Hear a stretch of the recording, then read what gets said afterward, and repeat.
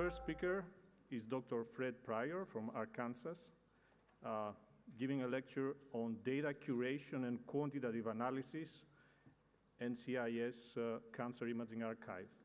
Fred, thank you very much.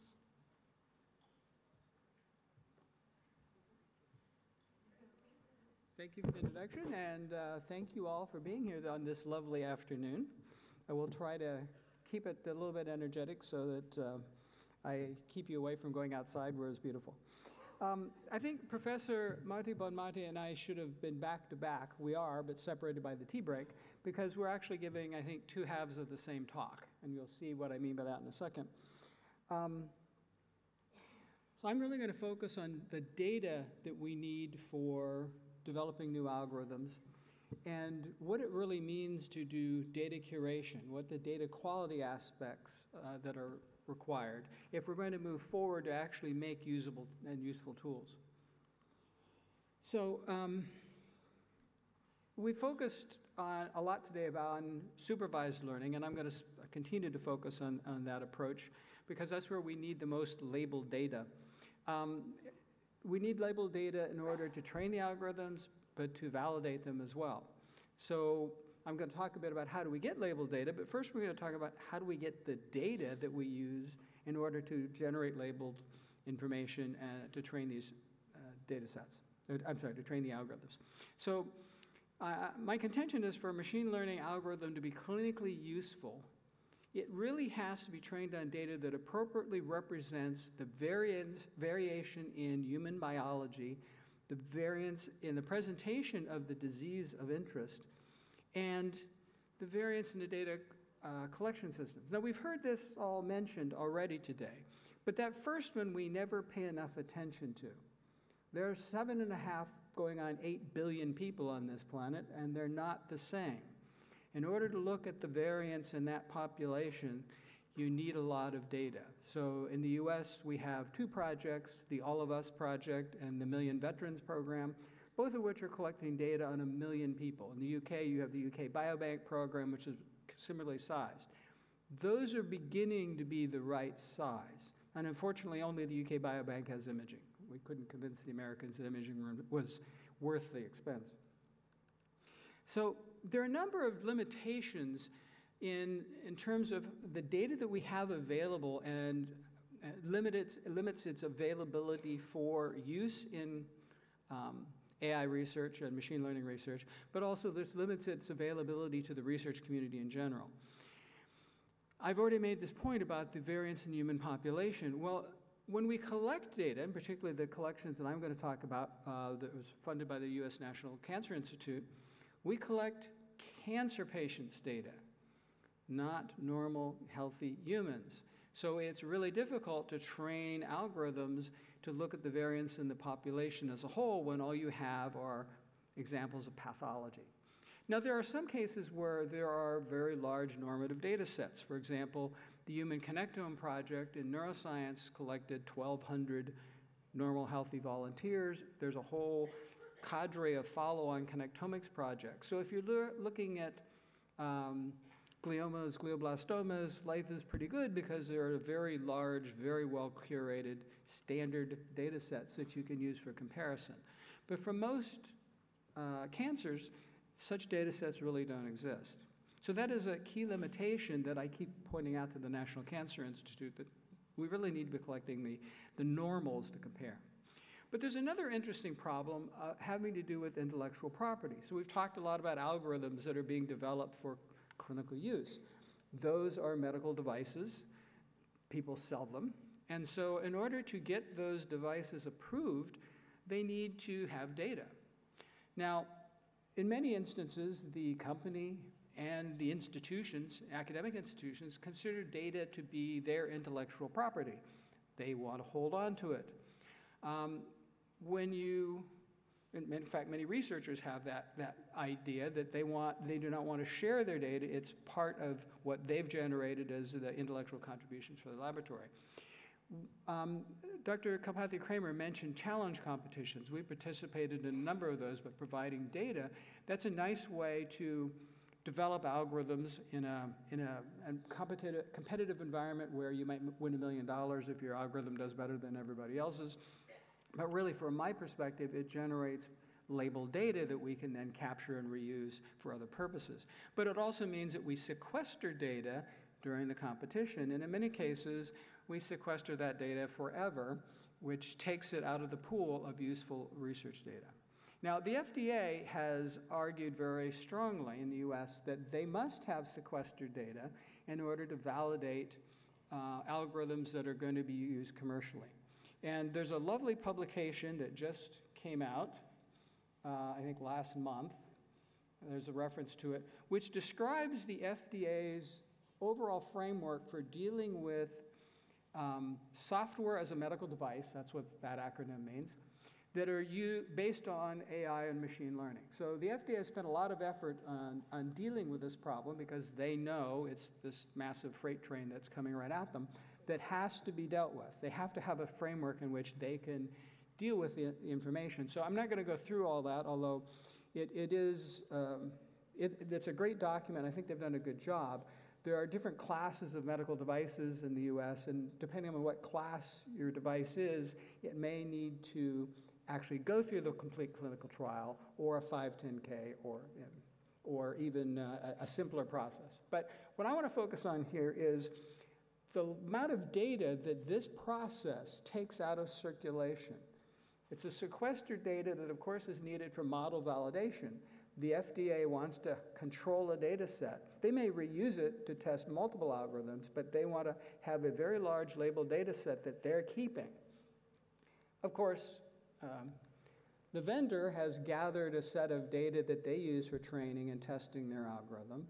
And this model actually takes into account this retraining approach where you put it into the, into the marketplace, but the algorithm continues to learn. So that's basically your data from your institution, but um, both the vendor and the VA want to control that data. So we're now talking about a very large amount of high quality data that would be very useful for research that's locked away and you'll never see it, we'll never be able to use it for research. So this is, this intellectual property problem is sort of normally invisible, but it, we deal with it all the time as we lose a lot of data to this process.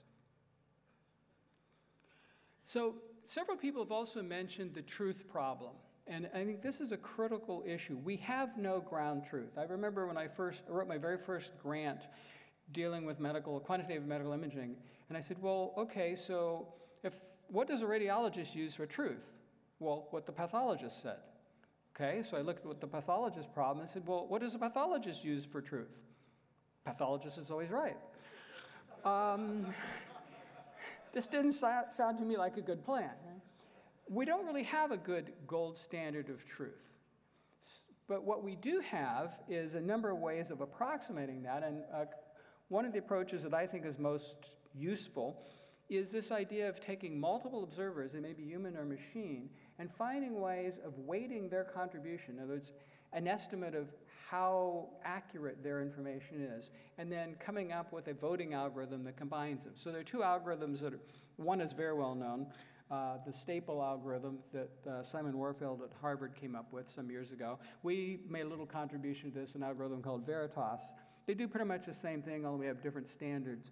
But the point is, we don't really have ground truth, but maybe we can model truth. And in order to validate algorithms, we need some consensus models for what truth is. Okay, so we've heard a lot of people talking about data, and we need a lot of data. And I've already hinted that I think it's the, the scale of data based upon the variance in human population. But there's another way of looking at the amount of data. Um, Deep learning algorithms, and you've heard a lot about that today, um, had this really nice property that they don't necessarily need um, the input of, say, what a radiologist is looking for in the images, the engineered features. They can learn their own features, but they need a lot of data in order to do that. And so Ian Goodfellow, who um, works for Google, wrote a wonderful textbook on deep learning.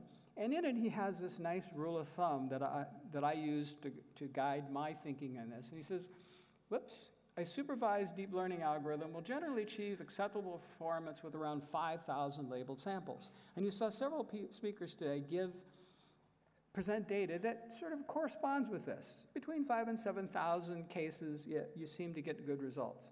But if you want to get over this issue of generalizability, if you really want to represent the biology accurately, it's more like 10 million. Well, if you Google, that's easy, right? I mean, you know, if you're trying to figure out what, how, what I'm likely to buy next week when I get on the internet, there's tons of information about me, in fact, about all of us. So for them, 10 million labeled data sets is a small data set. But for us, that's a whole lot of data. And how do we get that amount of data, make it available, and more importantly, how do we label it? So that's really what I'm going to deal with. And um, since 2010, my group has, and I have been dealing with this problem of how do we accumulate information and make it publicly available? Uh, in 2010, the National Cancer Institute in the US put out a request for applications to build a, an information resource, a cancer imaging resource, and to maintain it. And for better for worse, we won that and have maintained it ever since. Um, it's called the Cancer Imaging Archive uh, for an interesting historic region, uh, reason. The Cancer Genome Atlas was being built at the time. TCGA sort of made sense. TCIA doesn't make sense, but at least it was better than CIA, which is the other answer. Uh, so um, this is information repository that's built on what's called the FAIR principle, which is that data has to be findable, accessible, interoperable, and reproducible. Uh, we work really hard on the first three. The fourth one is sort of up to the people who give us the data, but we do our best to make sure that uh, it's at least um, properly discoverable and you can cross-link it. And so that's really what we, we spend our time doing is acquiring data, both imaging data, radiology and pathology predominantly, although we have a growing number of uh, small animal imaging data sets, PDX models, et cetera. Um, but also information about the human subjects who gave us the data, or the animal subjects, uh, clinical information, outcomes data, and a growing amount of gene, uh, genomic profiles or uh, patho path, ah, uh, proteomics data, too much pathology in the mind. So it's a very large repository of a wide variety of different types of information, and the key thing that we spend our time doing is curation. And that's really what I want to talk about is how do you make data useful? How do you make it findable and interoperable, et cetera? So this is just the sort of the eye candy slide of the kind of information that we that I've already mentioned, pathology, radiation therapy data, a huge amount of that, and then all types of cancer imaging information. It's an information repository that you can search online. Uh, about 15,000 people a month do that. They download on average about 75 terabytes of data a month. Um, last time I did the rolling 12 month average, which was uh, a couple weeks ago, it was 950 terabytes of data every 12 months that are downloaded by researchers from 125 countries around the world. So it's a well used uh, repository. You've heard several speakers today who use data from TCIA. We keep track of the publications that have used the data, uh, retrospective research using this information. Now, one of the things that to me is key for having high quality data, and I'm going to talk about data quality in a minute, is that we need to ensure that the information that we get has cons been consistently collected with consistent protocols. Um, I did an experiment when I was at Washington University where we had collected data supposedly with a standard brain protocol for looking at GBMs, and the short answer was out of 300 cases, I could find 11 that actually consistently adhered to that imaging protocol. Now, maybe it's better in the UK and other places, but in the US, clinical information does not, is not gathered in, according to consistent protocols. You can define the protocols, but the data is not collected that way unless it's a research trial. And so we spend a lot of our effort focused on collecting data from high quality clinical trials where someone has spent the time to look at um, and enforce rules about the acquisition protocols, and they've done quality assurance on the images, at least to, to some level. So that's the first stage, if you will, of assuring high quality. Now, of course, it's already been pointed out that there are a limited number of such trials, but as you can see from this number, this is, these are the groups that we're currently working with in the US. And in the next three years, we're looking at basically multiplying our data volume by about the factor of five. Now, a lot of that is pathology. They grow very, very quickly because pathology images are quite large. So this is how one of the approach, the key approaches that we're using to gather a large amount of data, having that data be of reasonable quality so that we can then through our curation process make it cross-linkable so that we can take data from multiple lung cancer trials and link it together into um, meta-analysis sets that we believe can be used for, for machine learning algorithm development and validation. So what do I mean by data quality? A good friend and colleague of mine, John Talburt, actually runs a, uh, an entire academic program on information quality and data quality. I'm not going to bore you with the difference between the two because I tend to focus more on the data quality, but he has these four pillars.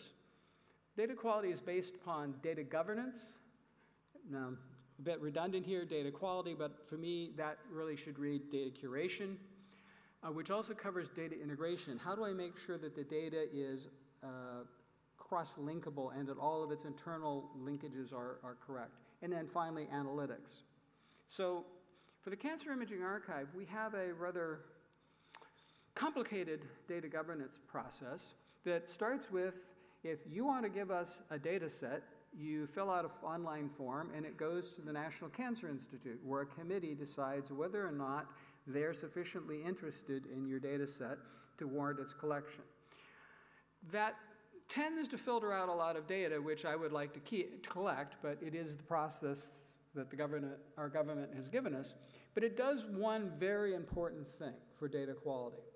The National Cancer Institute makes sure that all of the data was collected with proper consent so that the, the, the, human subjects consented for the reuse of their data in anonymized form, and that the data was collected according to the appropriate um, rules governing the use of humans in research, depending upon the country in which it's gathered. We gather data from all over the world. So that's their job, and I'm very happy that they do it. We have an, an, an institutional review uh, review board protocol that governs what we do with the data to ensure that our institution is protected. But that combination is our way of making sure that we have dealt with the human subjects research questions accurately and adequately. And then we have a large, actually I think five now, different ways in which you can upload data to us depending upon the kind of data and where you are. And all that data goes into a curation process, which I said, which I said before is to us the key. We collect data so that it's de-identified before it leaves your site, mostly de-identified. There's always hidden stuff, so that's part of the thing that we do once we get it. But we have a set of tools which we've developed over the years called Posda. They're now released open source uh, in a Docker container if you'd like to have them. These tools ensure that we've removed all protected health information, that all DICOM data structures are properly integrated uh, correctly, and a number of other things having to do with data quality and, um, and, and interoperability. So that's a set of tools that we use that implements this rather large pipeline of analysis steps to make sure that we have high quality data, which we then store and make, av make available. So the data is, is not visible until it's gone through this, even though it's been transferred to our site. We maintain it in a, on a private cloud uh, our private cloud, because we also manage a repository for the um, Centers for Disease Control, we are attacked on a regular basis by U.S. Homeland Security to make sure that all of our security protocols are in place. That's not necessarily a good thing from our point of view, but it does mean that we maintain proper security.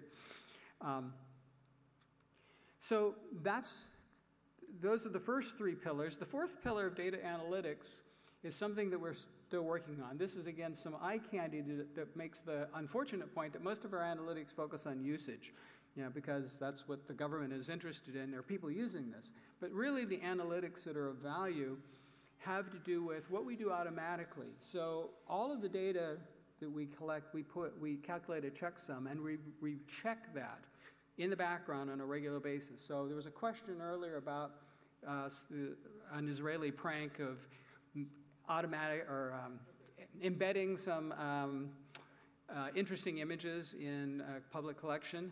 We would catch that through this process and would correct the information.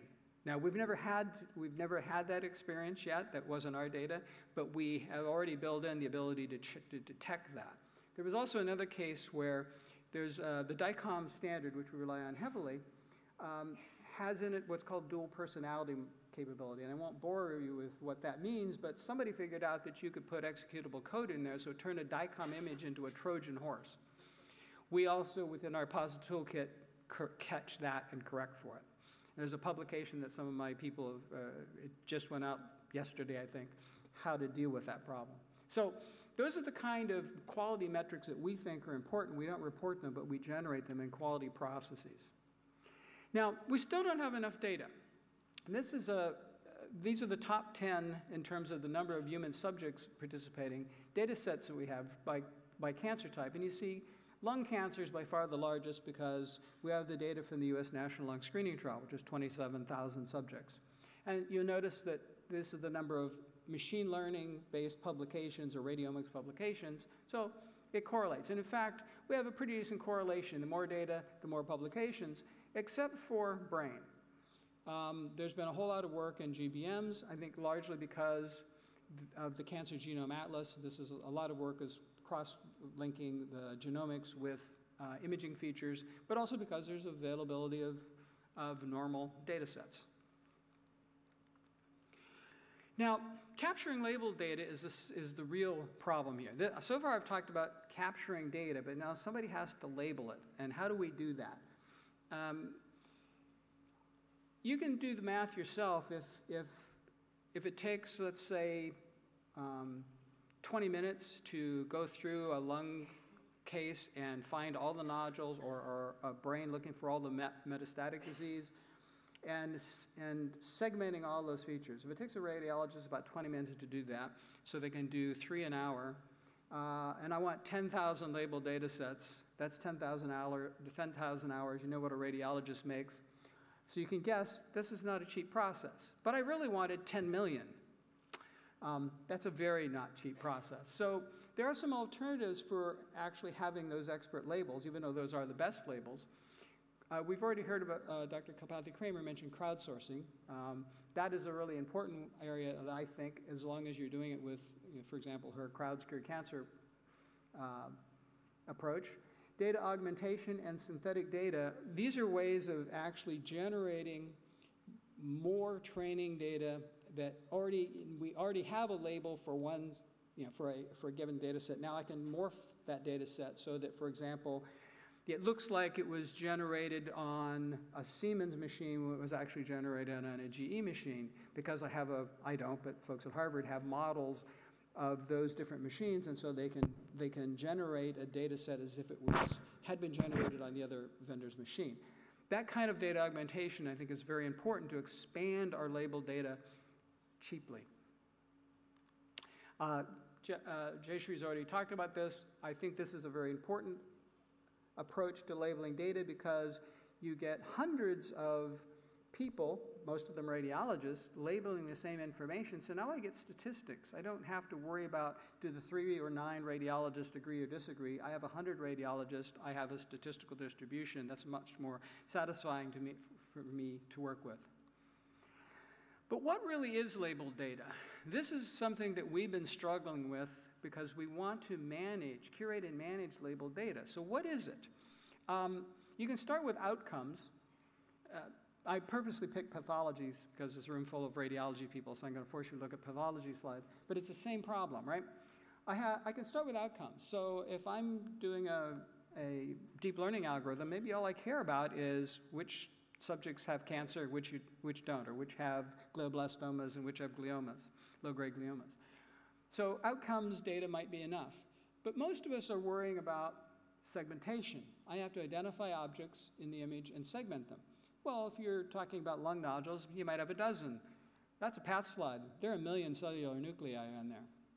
Uh, human beings will not segment a million cellular nuclei. does, you know, full stop. So that has to be done by an algorithm. But is that really what I want? Or do I actually want the features that are derived from that, the mathematical representations of the characteristics of those objects? Or do I want clusters of that information? Because that's really what's, what's more interesting for the algorithm that I'm developing. Uh, I could represent those clusters, in this case, as tumor infiltrating lymphocyte maps, and I might want to be compare different TIL maps. So what is a feature? What is the label that I really need to keep in my data set? Well, the answer is all the above. We've been working with our colleagues at Stony Brook, Joel Saltz and his team, on the pathology version of this, hence the, the pathology start. Uh, all these tools are part of the Cancer Imaging Archive, but we're focusing now on this one, which is a feature base. And we're trying to develop the standards for how do I represent image features? Because they don't exist. There isn't a DICOM standard for image feature sets. How do I represent a feature vector? And what we've determined thus far is, in fact, the basic, most basic format in, in which to store this information is a fourth order tensor. Great compact mathematical representation, really hard to structure for a database to manage. So we're, we're struggling with how to organize this information and how to manage all those classes of features, provide some kind of semantic integration. For engineered features, there are ontologies which are growing and are, are very good, but for learned features or for annotations, there really aren't. So, and then how to link these features to the data that they came from, because we combine information from multiple trials. So the images, a given feature set may have come from images from different places, and we need to maintain all those linkages. So just to, my summary is actually very similar to what other people have said, which is we really have to have high quality data. I think I've given you my definition of high quality data, which is a little bit different. Um, we have to have huge quantities of data that is labeled. I don't think that human labels are going to do that. And as I, I should have mentioned in, the point I made about um, the Staple and Veritas algorithms, human labeled data for machine learning is a trap.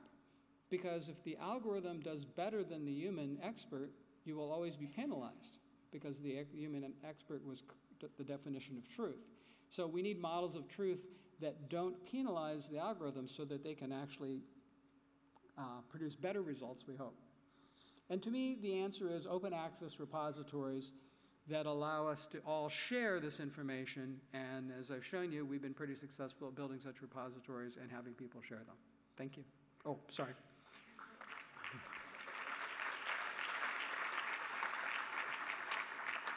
The next presentation is on the role of open source and open collaboration for imaging AI, and it will be delivered by Dr.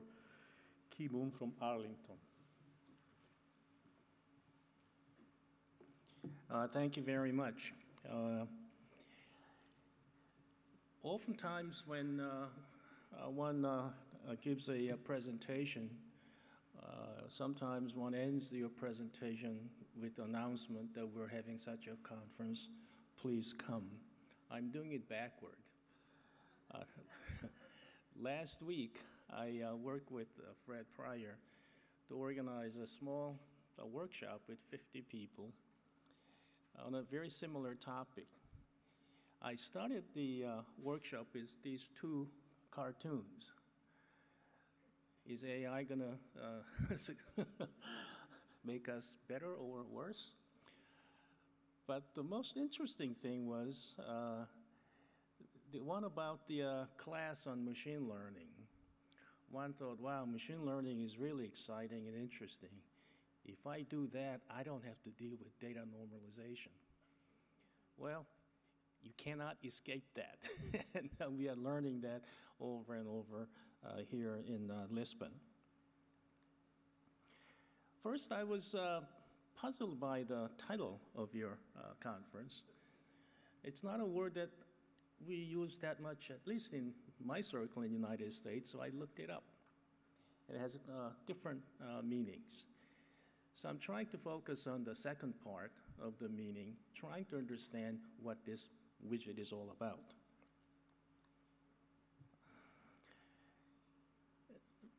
There was a uh, workshop uh, hosted by uh, NIH uh, last year and published uh, a paper. And in that paper def- uh, defines machine learning system must be capable of explaining or uh, illustrating the advice they provide to human users. So this issue of explainability becomes an important part of the discussion. But in that, we also find, we hear about black box, black box all the time.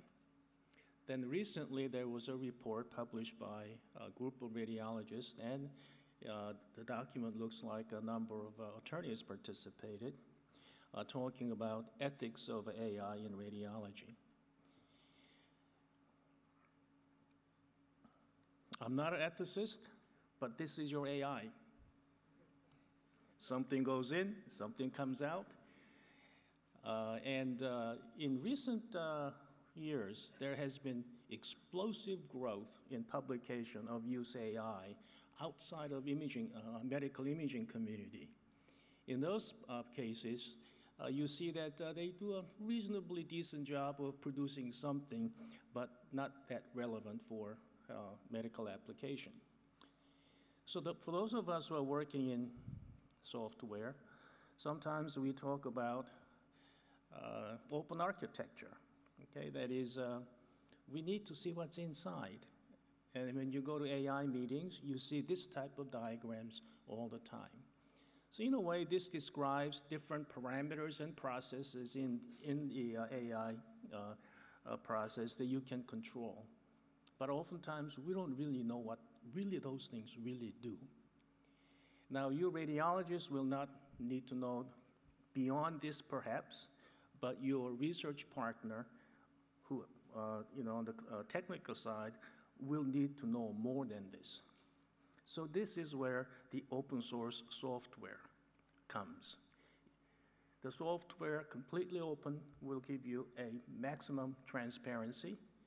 And also what you will learn that some of this open source code that you can download from multiple sites are not necessarily optimized for diagnostic imaging purpose. So why am I talking about open source in uh, machine learning or AI conference? There are increasing number of uh, open source machine learning packages all around us, perhaps even 100 or more. And many papers, especially outside of uh, medical community, uh, have been published using this black box and say declare victory. Now, I'm sure uh, some of you here will use some of these open source packages in your research. And also, I'm sure the, uh, our industry partners are looking at a lot of these open source packages as well. So what do we really need to know about the best practice in open source? And how do we take advantage of the open source software community uh, to advance uh, your uh, research or development agenda? Open source concept got actually started quite some years ago in, in the early 80s. And in some ways, open source is very misunderstood because open source is readily available free of charge. So it's a free software, free software. Yes, software may be free, but understanding the software is not free. The free has more to do with the freedom of what you want to do with the code. In a way, it's a social movement and philosophy for developing software code in a shared environment. Now, this sort of open source concept got codified a bit further because some years ago, the American government said to AT&T phone companies, you know, you're in the phone business, so you should not be developing software. So in order to force the AT&T just to do phone business, they forced the AT&T to release number of their intellectual properties to the community. So one of the things that was uh, uh, released at that time was earlier version of Unix operating system. Under the uh, stipulation that the software can be licensed without royalty payment, that is no fees, under no obligation for technical support. So AT&T does not have to be responsible for the software, but you cannot charge any money. Therefore, it became the beginning of concept of free software. But understand the free software has no particular obligations to the end user. Then, uh, the, the, the, uh, the, software package that came out of AT&T went through a number of iterations in the community. So Linus, uh, you know, wrote additional packages to make the uh, Unix operating system that much easier to use. So eventually, that became one of the most popular operating systems in the world. And then also, uh, Linus is the guy who developed the very first version of Git that has become GitHub, and now it's owned by uh, Microsoft.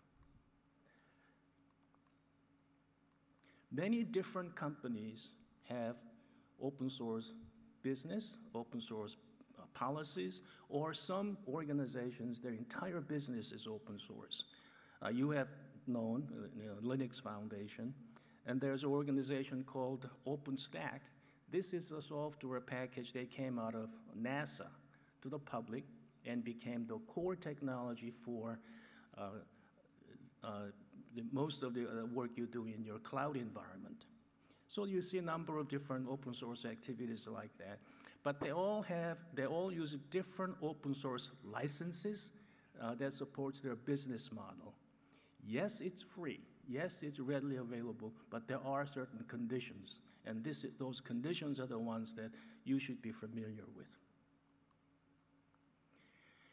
Now, when I started this open source foundation about seven years ago, uh, uh, with the sponsorship of the United States government, I would go give talk about open source, and mostly uh, companies, at least in health IT, you're a very dangerous guy. Open source software is dangerous, unreliable, and shouldn't be used in healthcare. But that's not the first time I was told being a, a, a dangerous guy. Late 80s, I was very much involved in promoting PACS with the huge funding from Department of Defense. Again, I was told I was a dangerous guy promoting uh, digital imaging. Number one, image quality will never be good enough. Guess who, who said that? Kodak Corporation. Have you ever heard Kodak Corporation? then I go to uh, radiology community. You're a very dangerous guy. You're going to make radiology service a commodity service. Well, today, I, earlier I heard that somebody reported PACS really has improved efficiency of radiology service by 30%. That really makes me feel good. So I was not that dangerous. so a little bit about open source in terms of uh, more legalistic terms. Open source software has to be licensed under proper uh, license. The creator of the code has the copyright and the copyright holder issues a license so that the end user can study the code, change the code, and distribute the code following the rules of the license. The two things are important here. Without proper license, it's not considered as an uh, open source. Okay?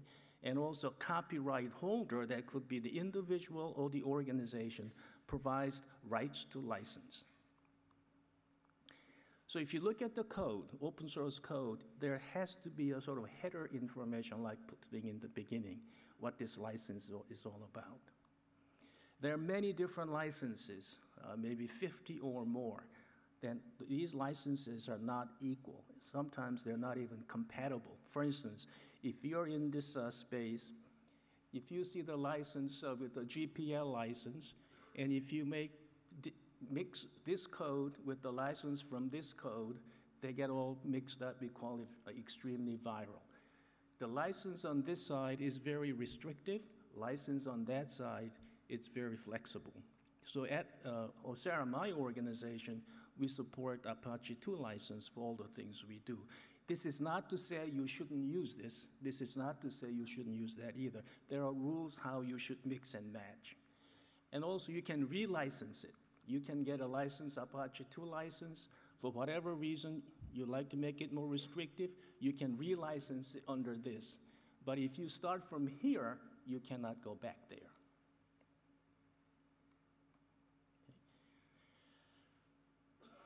Now, uh, in the past, uh, this GPL license was much, uh, much more popular, but over the years, uh, you see that uh, more use of the Apache 2 license, more flexible uh, license.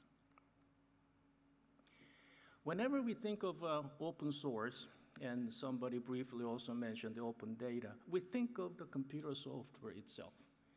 Yes, that is true, but there is a large amount of activity goes behind. So the ecosystem of open source includes certainly the software, rules of engagement, business rules that has to do with the uh, license, and the community. In fact, the community may be the most important part of this open source uh, phenomena, so to speak, because that's the community you interact, and that's the community you collaborate, and that's the community that can help you if you're willing to contribute. And open source code can be commercialized. As I mentioned earlier, code itself doesn't have any warranty. Sometimes it doesn't even have a user manual. But if you want to productize it, make a commercial product, you can do so by uh, adding additional services and capabilities. Back to machine learning. These are some of the sort of popular convolution neural network packages you can find on internet, and the number is growing. So if you look at some of these uh, packages, there's a list of creators. The first one is out of Berkeley, and so on and so forth. And some you can see are supported by very large corporations uh, like Google. Then it has certain licenses. You can see the BSD license, MIT license, and so on and so forth. Then the platform. And also, it uh, shows when it was released, and also it shows what language that was written in. So your uh, technical partner might have a preference over one language over the other and one platform over the other. So that will be one of those factors you need to consider uh, making decisions. Okay. And here you can see a very high level uh, summary of uh, different uh, attributes of different licenses. And also there are some additional details uh, that you can look up. And uh, in this case, for instance, uh, TensorFlow is one of the more popular, more sophisticated. Uh, however, if you go to Keras, or that is less flexible, but it's easier to use. So if you want to start something fairly quick, perhaps you might want to look at uh, Keras or uh, uh, Caffe 2. For instance, uh, TensorFlow, this is one example of the kind of parameters you can control to run the network. Uh, but in case of a Keras, there are less number of parameters. So for the quick training, uh, to get a, a, quick orientation of what this is all about, that may be a, a better option. Okay. So before you start so AI project, as someone mentioned earlier today, there are two types of AIs. That is a machine uh, uh, learning that uh, uh, depends on the supervised learning and unsupervised learning. A lot of the work we do in radiology has to do with the supervised learning, with the classification, or at times regression. So, if you want to pick a package of software, software language, operating environment, and see whether they have a reasonable amount of documentation. Some of the most interesting packages came, came out recently don't have much documentation, so that will be difficult to use, but sometimes it gives some, it has some very interesting ideas. And try to create a, at least find out a community. I don't think there is a uh, AI open source software community for radiology. And I think time has come to consider such thing because these open source packages are not properly optimized.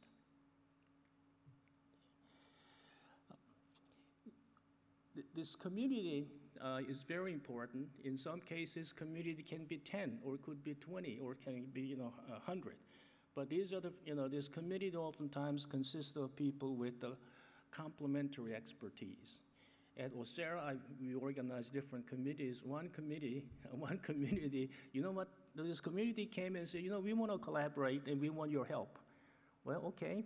I said, uh, what would you like to do? And uh, they uh, looked at us, no, what does OSEHRA want us to do? I said, no, you are the expert. A community manager like OSEHRA, we're the facilitator. So you decide what it is that you would like to do, decide the priority, then we will facilitate meetings, we'll facilitate the software development process. They looked at each other for a year. Finally, they realized it's their business that we are going to support. So once the collaboration took place, they realized they have complementary expertise and so on and so forth, then the productivity took off. Okay? So, well, okay, so you pick a software package you want to play with. Uh, then some of the things you should consider is, is this package really optimal for diagnostic imaging? The package is stable, or how efficient is that?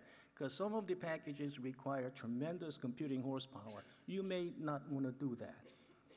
Okay, then when you look at, let's say, convolutional neural network, you know, how many layers can it support, and how to label images, all those things that we've been talking about today.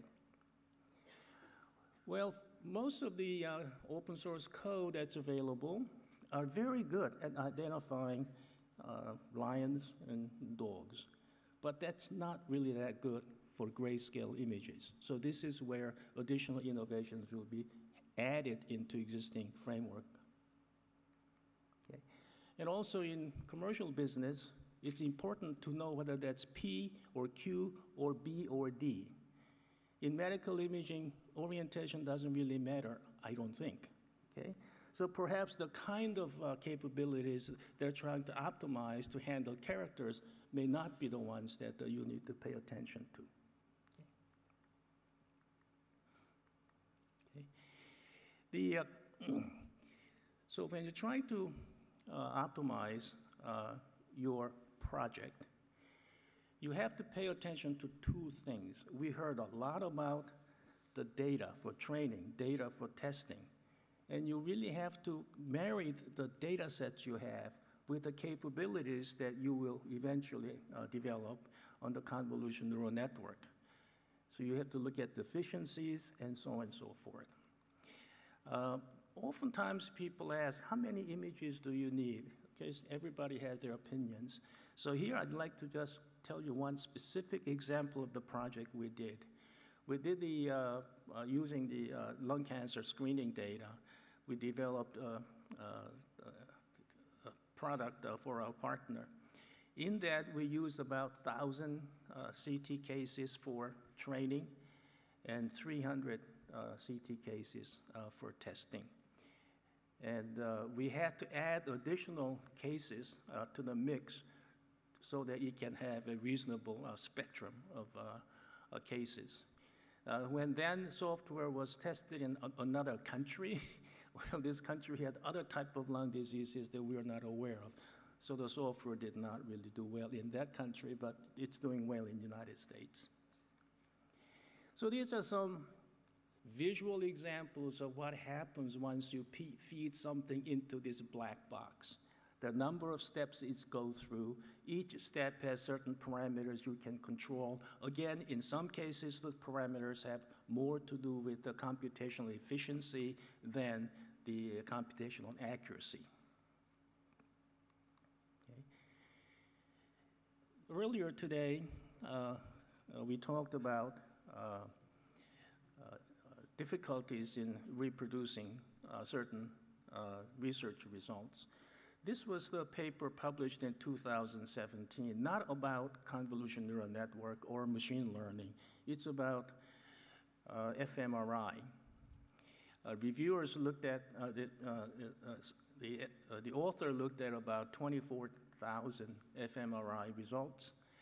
And that time they claimed more than 80% could not be reproduced. So that created a huge scandal. Then later it was corrected and saying that uh, perhaps about 3,500 uh, papers, uh, the results of the papers could not be reproduced. So the second paper concludes uh, their argument by saying the ease of analysis afforded by some of the software programs belies the complexity of the methods. The ease of use does not release experimentalists from their responsibility. of valid finding. I think this uh, machine learning, artificial intelligence, I call it almost intelligence, has a tremendous potential, more than any other technologies that came into radiology. You know, from digital imaging and all these other things that, that uh, we've done. But this is going to be different. Uh, at the end of the day, if it's going to be used largely to improve the efficiency of entire operation, including perhaps outside of radiology domain, it's going to take a bit longer time. But I think the radiology community, I think, is better prepared uh, to deal with this because you've been at it longer than anybody else. So thank you very much for your attention.